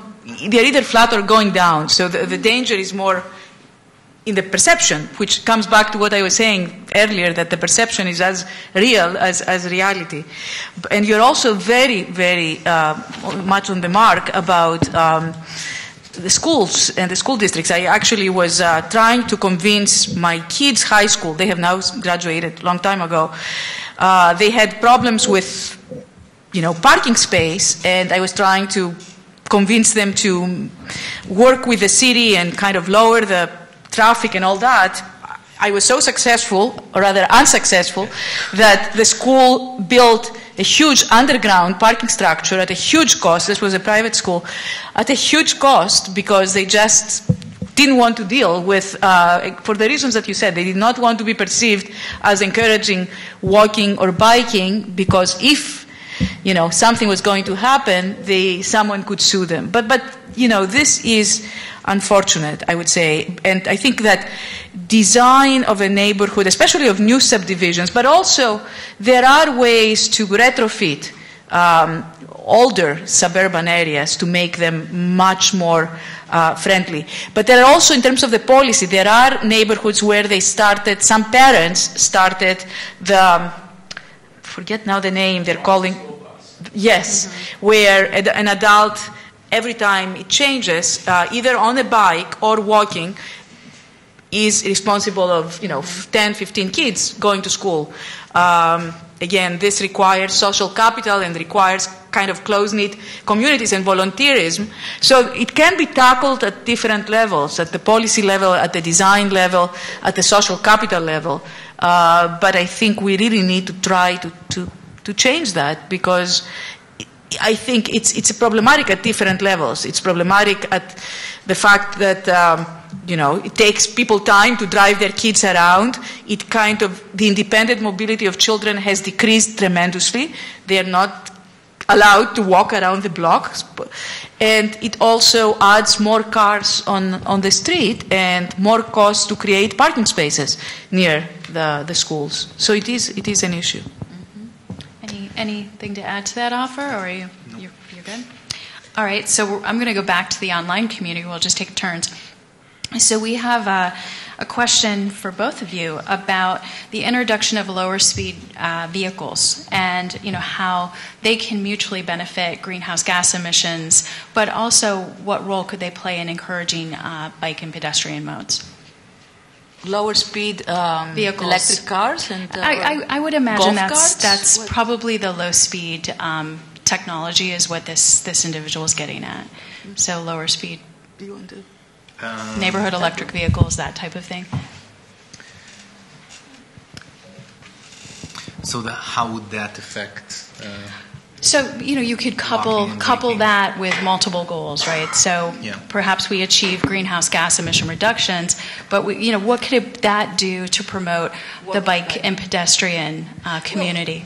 Well, what I would say that studies do show that the higher the speed, the you know the more the, the, more fear, the danger, right? and the more the fear. The, so the perception you know, of that. one would think that if all the vehicles um, were low speed, and yeah. that would improve but you can also accomplish that in, in residential neighborhoods with lowering the speed limit and putting speed you know, bumps, speed bumps and, and, traffic doing calming. the traffic calming devices. I think it's easier to do that than expect that everybody would buy the low speed uh, vehicles. Mm-hmm. Uh, um, yeah, I agree with that comment. So indeed, uh, high speed are uh, something that makes uh, pedestrians and bicyclists very uncomfortable, and that they're much less likely uh, to walk or bike. And if, uh, I'm not familiar with this uh, these specific type of vehicles, mm-hmm. but uh, it's indeed there is a, a, trend to try and purchase more low-speed vehicles, then that would mm-hmm. be able to achieve both benefits: mm-hmm. greenhouse gases. Yeah, I think there's a, a lot of discussion about possibly trying to create low-speed zones in cities, and so vehicles that only travel at a reduced um, yes. speed would be allowed in those areas. And I think that's what this is getting at. So, you know, is, is it a multi-objective kind of mm-hmm. uh, strategy where we can lower emissions, but we could also, at the same time, encourage people to, to walk more more because there aren't all of these high-speed vehicles, you know, Zooming around. zooming around them. Yeah. And that, that's also related to, uh, from a safety, a direct safety perspective, and it speaks back a bit to the Vision Zero type of thoughts Yeah. that uh, you're supposed to, an environment that is expected to have a lot of pedestrians and bicyclists should not allow a, a speed limit above a certain uh, uh, number. And the way they come up with the numbers in European countries is they there's a certain level of risk that they're willing to accept, a certain probability of fatality given a crash, and those numbers are typically lower than the speed limits that you would see in the U.S. for uh, urban environments. So it's more like 15 or sometimes uh, 20 miles per hour. So they, uh, if they determine that an area is expected to have a lot of pedestrians and bicyclists, then the speed limit is actually lower to allow for them to allow them to uh, walk and bike in those uh, locations more comfortably. Thank you. So why don't we go back to uh, our live audience right here? I think uh, Madonna's got the microphone. Um, yeah, I wanted to ask about the um, what what I call the false exemptions of smart growth, so-called smart growth. In other words, um, what I'm seeing happen is that um, rather than out of transportation interest, um, actually for developer interest, um, we're getting exemptions for both parking and for um, the effect um, on traffic modeling um, uh, that's being pushed by the regional MPOs. Um, so the effect of this is that they're building in uh, downtown areas, core areas, core and corridor areas, uh, these four and five story buildings. Um, they're saying, well, you know, this is actually a, um, uh, you know, these people aren't really going to use their cars or have cars, so we'll just, you know, require that every other unit needs to have a, a parking space. And then they're saying, well, they're not going to have cars, so the effect on traffic will actually be uh, much less than, um, you know, would be predicted otherwise. And uh, what, what has happened is that. Um, uh, you know, some of these areas are actually being much more impacted by cars. Uh, the traffic is turning into gridlock. Um, a good example is Washington Street in Petaluma, where they've done a lot of uh, smart growth downtown, and Washington Street is now impacted very heavily. Um, and uh, uh, you know, I, a, a, friend of mine in Southern California, who's a transit ad- advocate, um, used to be very much in favor of these buildings that would magically have people who would ride transit. And now she's very much against it because um, she's actually putting a study together that's showing that they've made all these promises that these are transit oriented developments. And uh, what's actually happened is transit funding has gone down and there's less transit, and all these people have cars. Um, so I'm wondering how we can get away from this. Um, the, these false exemptions and, and, and you know actually have if you build something that's smart you actually have to do something that makes it uh, um, you know more friendly to uh, bicycles and pedestrians and transit. Any any comments on that? Lowering the parking minimums? well, this is a very valid point and uh, we're actually doing a study right now that looks with colleagues from Berkeley that really looks into the another aspect, which is, um, you know, gentrification and displacement because of where some of these transit-oriented developments enter. Uh, there were um, existing lower-income population that were more transit-dependent, and they are replaced by TODs that bring a higher income population that they're not transit dependent and they use, still use their cars. So this is an issue. I have to say it's not everywhere. I mean, I, don't think that we can paint everything white or black when it comes to TOD. And our work, the, the, the state, which it is funded by the California Air Resources Board, the study really wants some policy guidance, and we're looking, we're trying very hard to see what you know, what do you do in terms of increasing some of the affordability and really serving really the transit dependent population that are more likely to. Um, also, we're looking into commercial gentrification, and we hope to get funded for a proposal that really would try to see if this commercial gentrification, if the new, you know, very hype stores bring actually more traffic uh, crashes because people come with their cars instead of walking and bike. So it is, it is a very valid concern, and uh, it has to be looked at. I would say contextually, because not it's not everywhere, and also what can you do in terms of policy not give these incentives or give different incentives to developers or try to incorporate more affordable housing units in some of these and all that. But it's not, it's not an easy response, I would say. Any, anything there? Okay. Okay. So back to um, our online uh, community. So there's an additional question about road diets and traffic calming. So the question is there's been concerns about first responder vehicles being unduly delayed because of certain treatments in this regard. And is there any data to support this and these considerations? Do you know? Um, I, I can try. So, uh, um, yeah, so when you uh, redesign a road and you add traffic calming devices and bulb outs, so there's the concern that uh, um, uh, first responders, it will take them longer to reach specific destinations. Mm-hmm. Um, I don't know of any data to support these concerns, but uh, uh, to some extent, a lot of these concerns can be addressed by also uh, maybe making adjustments to the first responder fleet. So if the urban environment changes a little bit and it's a priority of uh, policymakers to make the city more friendly to pedestrians and bicyclists, so there might also be room to then gradually uh, change the fleet of the first responders so that they are would be able to better navigate that uh, uh um, um, these type of roads. So. Uh, um, so, uh, um, so it is it, is a concern. It is something that we need to think about but it shows that whenever you're making changes to the environment, you need to think of all of the uh, road users that would be affected by it. And uh, uh, in my mind, this is a solvable problem with uh, modifying practices in some of the vehicle fleets of first responders. Right. So I wanted to ask you guys a question again. Um, you know, given that we're here today at Caltrans and we're, you know, thinking about both planning and research, you know, what role um, can partnerships with uh, local stakeholders play as Caltrans looks at you know increasing more bike and ped modes, which is part of their strategic plan? So what you know what role can those partnerships play?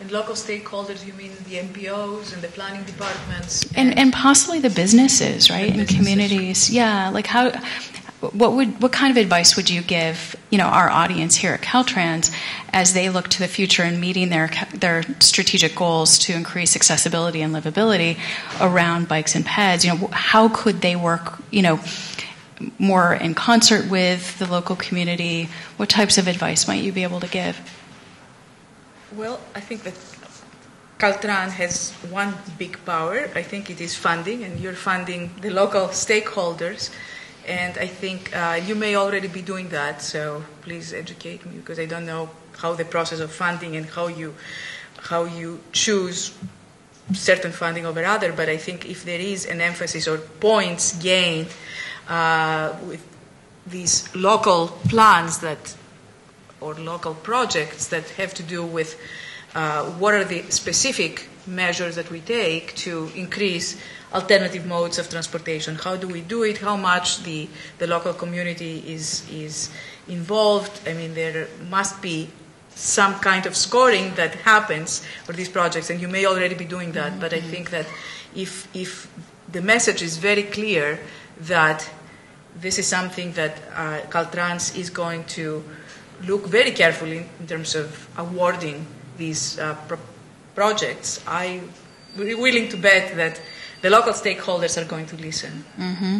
And indeed, I think Caltrans has an active transportation program that funds local bike and ped improvements to the tune of about 100 to 200 million dollars per year. So this is definitely an avenue mm. to encourage local stakeholders. Offer, did you have any thoughts? Um, maybe I can add to that a little bit. That uh, the biggest challenge, or as opposed to more automobile uh, uh centered work, the collaboration with local agencies uh, for pedestrian and especially bicycle issues should be uh, as great as possible because uh, um, the locals are probably dealing with these challenges to at least and probably even a larger extent than Caltrans.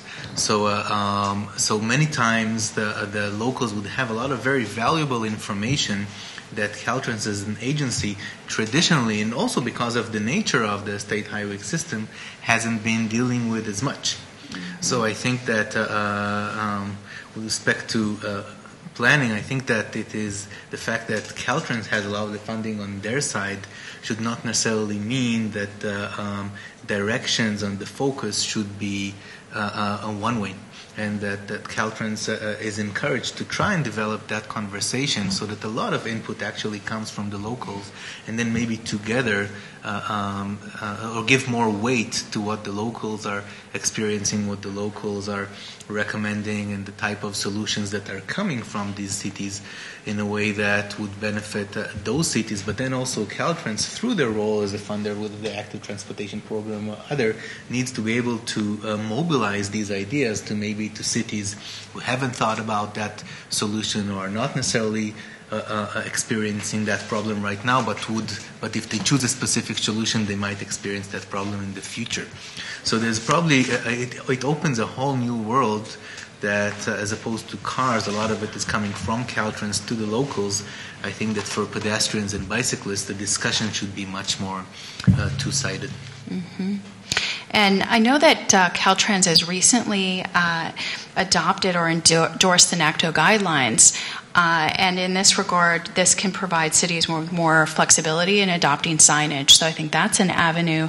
And then I think a third avenue is through the California Household Travel Survey that Caltrans funds and implements. This could be an avenue for introducing new questions that might be helpful in, you know, providing folks like the researchers here today and others in the community with uh, good data associated with uh, survey related questions. So uh, we have. You want to go back to the audience? Okay. So what we're going to uh, do is I think we're going to start to ease into wrap up.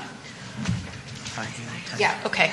We, we're gonna. Um, I we, we have so many questions actually coming in online, and we're absolutely delighted that there's um, such an appetite for this topic. I think uh, we want to take one last question or comments or feedbacks actually on the question regarding uh, Caltrans and the planning process, or any others you might have.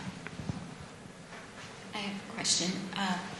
Recently, HBO did a segment called Bike Wars. I don't know if you had a chance to see it, but it talked about everything that we're discussing here today. But it also touched on um, everyone in Europe and the way that they do things as far as bicycling. And I was wondering, because um, I was quite amazed that they have parking structures for bikes. And they're like four story parking structures there uh, because so many people um, bicycle. We're here, I think, in America, we kind of look at bicycling as something we do on the weekend in more of a recreational aspect. The spandex community.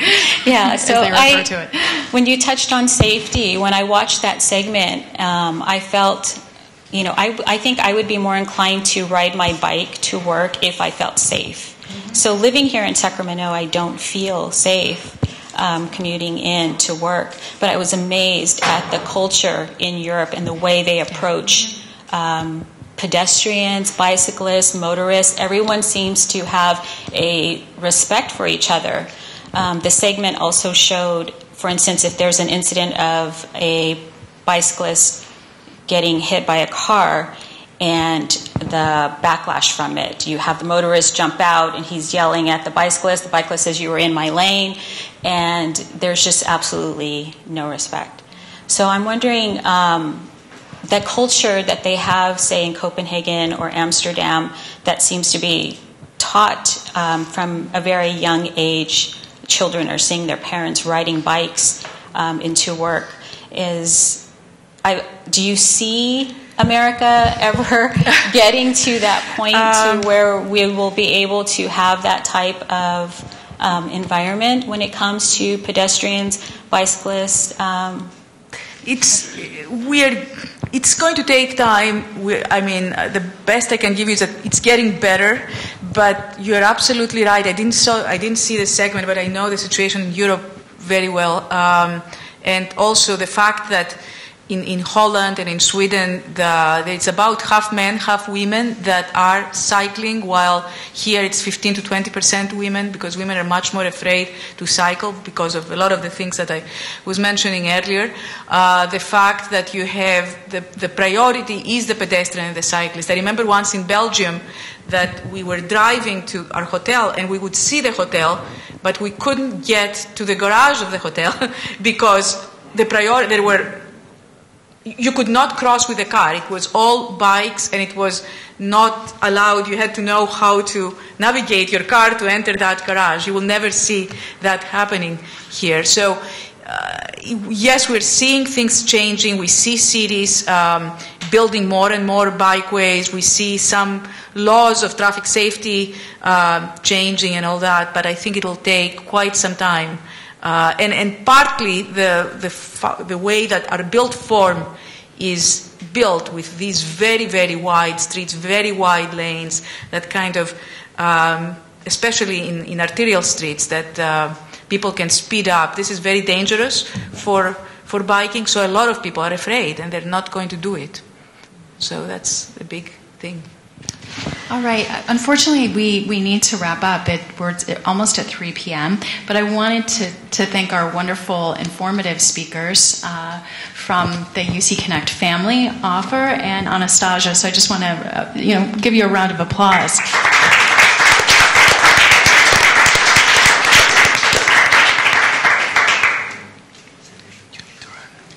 Yes. And so, um, for those of you online, please continue to send your questions in. We will uh, respond to them. And I just wanted to congratulate uh, Caltrans, uh, the Division of Transportation Planning, and the Division of Research, Innovation, and System Information, as well as the UC Connect family, on a really successful uh, and informative uh, emerging trends uh, workshop today. And with that, there's more to come. So you will actually have another opportunity to convene again on October 19th uh, from 10 a.m. to noon, and the next session will be on challenges of suburban office landscapes. So that definitely sounds quite juicy and provocative. So uh, I hope you will welcome uh, the UC Connect team back to uh, take on those questions. Thank you very much. And thank you.